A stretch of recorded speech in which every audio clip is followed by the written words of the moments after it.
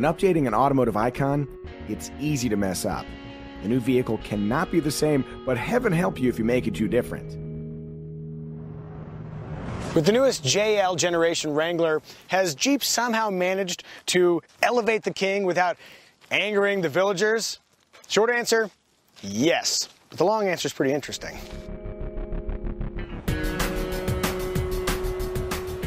Don't let the evolutionary exterior design fool you. Within the first 100 feet, it is clear something's changed. This Wrangler doesn't drive like a tent, it drives like an SUV. With a longer wheelbase, wider track, and a well sorted suspension, ride quality is actually quite good, especially compared to Wranglers of the past. Another major leap forward is the steering. It's linear and responsive with what I would describe as ideal resistance.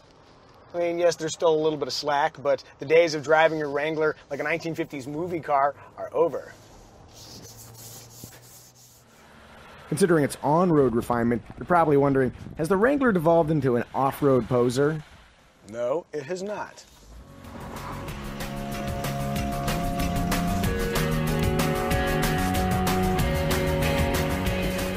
All the critical angles, approach, departure, ground clearance, have improved versus the JK Wrangler. For four wheeling action, there's no bad Wrangler, but true off road connoisseurs will want the Rubicon. With its robust Dana 44 axles, electronic locking front and rear differentials, electronic front sway bar disconnect, hardcore crawl ratio, 10.8 inches of ground clearance, heavy gauge steel rock rails, and 33 inch tires, though they are all terrain tires, so depending on your plans, you might want to upgrade to mud and snow tires. The Rubicon also looks cooler, with higher fenders, a vented hood, and red hooks, because you can't conquer Mother Nature without red hooks. With good judgment and maybe some help, the Wrangler Rubicon can scale serious terrain.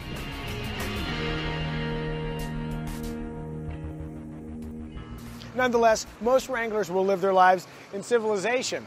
If you're the kind of person that likes to look rugged but not live rugged, there are a number of details that make this the most civilized Wrangler yet.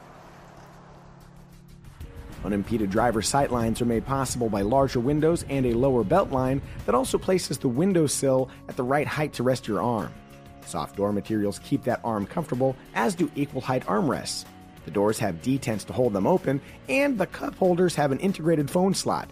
Compared to Wranglers of yore, the JL's interior quality is a revelation. Even so, there are plenty of brawny touches.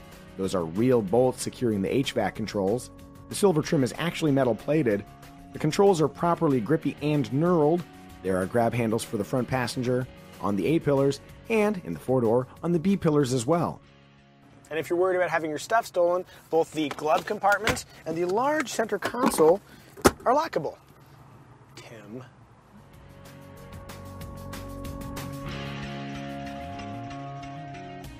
Where passenger accommodations are concerned, the Wrangler's cabin provides excellent headspace up front.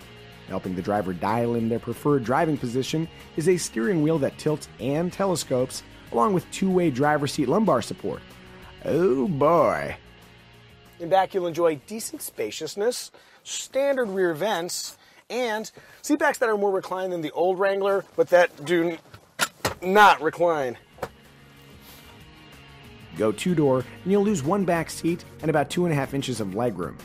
Out back is plenty of cargo space, and the rear seats fold with no fuss for larger loads.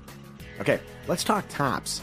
There's a hardtop with removable roof panels, a hardtop with a full length power retractable cloth roof that opens up to 60 miles per hour, and of course, the standard classic soft top. With either of the hardtops installed, unstrained conversation is no problem. The soft top is a little bit louder, but not offensively so.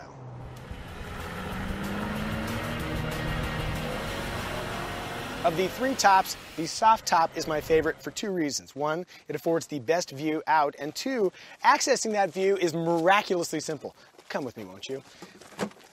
Most significant change, if you've ever had a Jeep previous to this one, bunch of zippers, there are no more zippers. Literally, it's just tabs, and all the uh, windows just slide right out.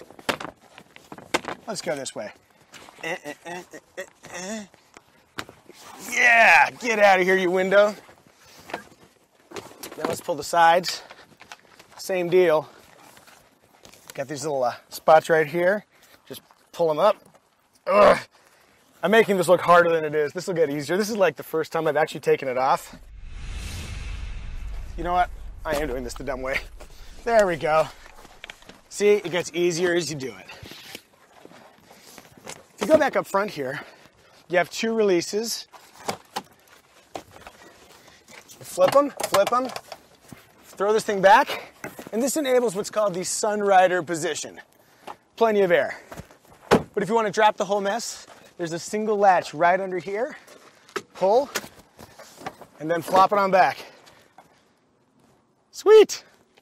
Now, the real trick, how long will it take for me to put all this mess back together? Let's time it. And go.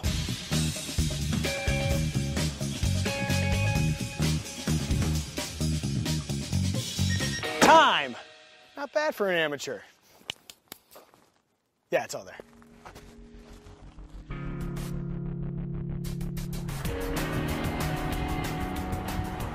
drive topless, and wind throughout the cabin is pleasantly breezy. And not unlike the Lamborghini Huracan Spyder, the windshield header is far forward, filling your gaze with beautiful blue skies. The Jeep Wrangler isn't just a great off-roader, it's a great convertible. For maximum effect, remove a few bolts, and you can ditch the doors.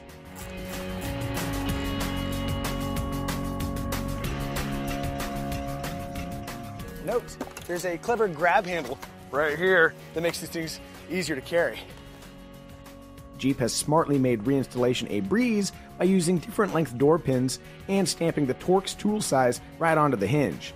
The door is also way less, as does the hood, windshield surround, and exterior tailgate skin, thanks to our old friend, aluminum. That, plus expanded use of high strength steel, gives us a Wrangler chassis that's stiffer yet comparatively svelte blending lightweight materials, improved aerodynamics, no really, and new engines, the Wrangler is decently efficient.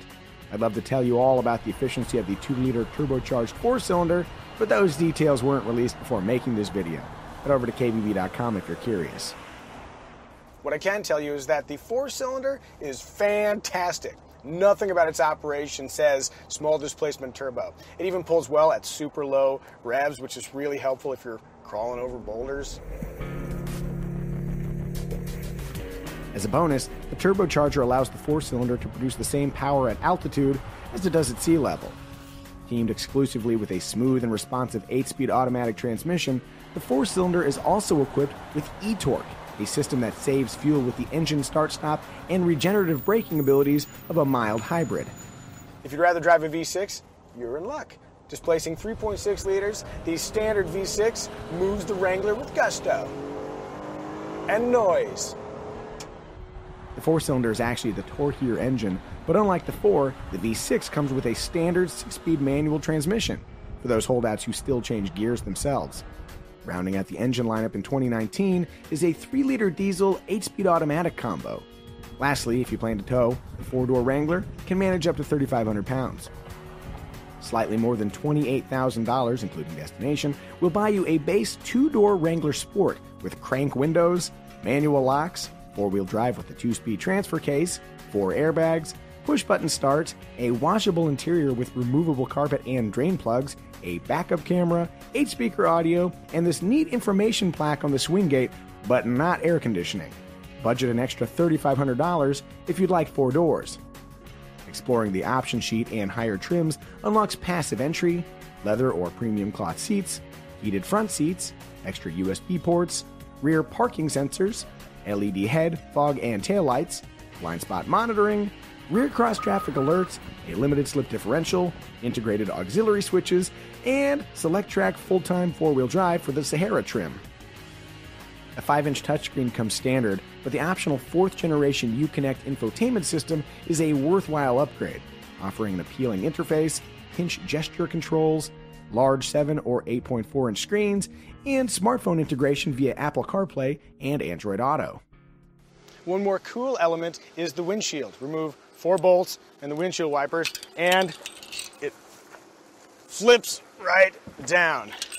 There is no better way to commune with nature than getting some of it in your teeth.